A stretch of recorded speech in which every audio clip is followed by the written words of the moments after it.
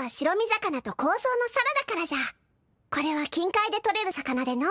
傷みやすく保存も効かない厄介な魚であるが鮮度が高い状態での味は絶品よ。ささ食するがよい。いやまあ美味しそうだけど。むしろかなり美味しそうなオーラあるけど。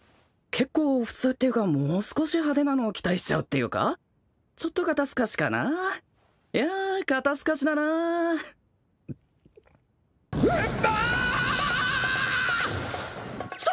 っておかしくない？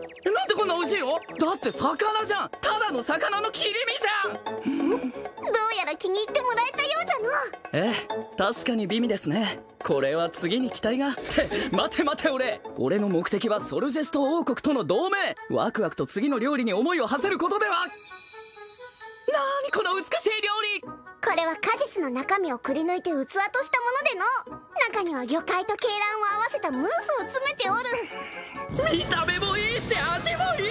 200万点。いやだから点数とかつけてるんじゃない俺。俺がすべきことは。あああ。あ。